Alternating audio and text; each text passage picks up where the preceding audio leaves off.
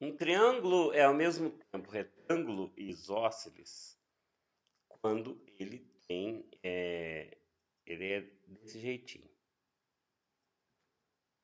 Ele é o triângulo do Tangram, uma folha dobrada ao meio. Uma folha de papel quadrado dobrada ao meio. Isso é um triângulo retângulo isósceles.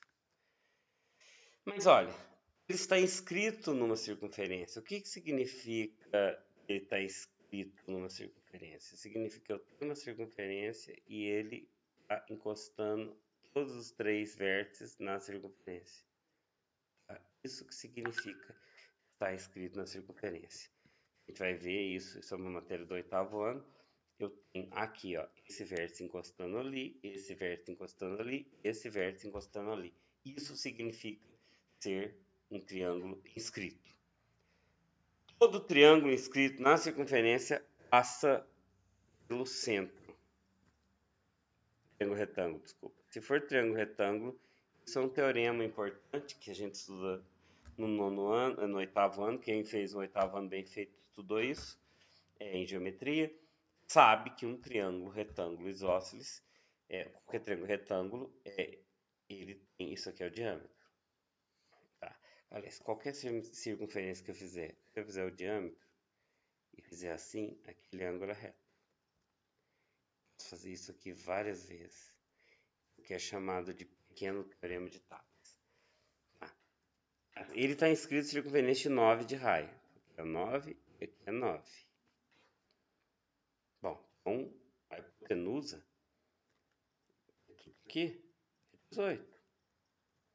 E ele é isósceles, então esses lados são iguais. Só fazer a conta. L ao quadrado mais L ao quadrado igual a 18 ao quadrado. Você vai chegar na conclusão que a resposta está errada aí, vai dar 18 raiz de 2, mas você já vai chegar facilmente à conclusão de que é a mesma coisa que usar a fórmula.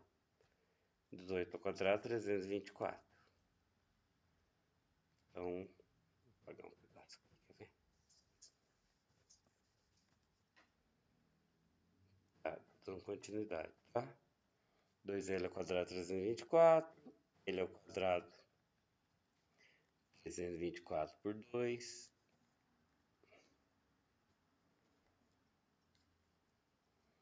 L ao quadrado 161. L é igual a raiz de 161 para 161.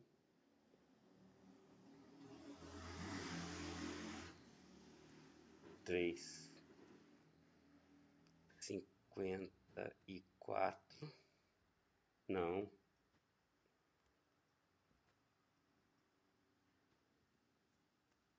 quanto que é cento e sessenta e um por três, galera? Aqui é cento e sessenta e dois.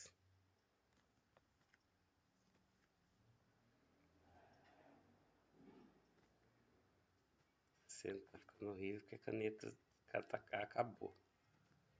Fatoro.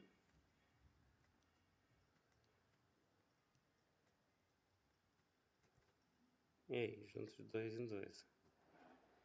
Os dois tiram para fora, 3 vezes 3, 9. É, deu 9 raiz de 2 mesmo.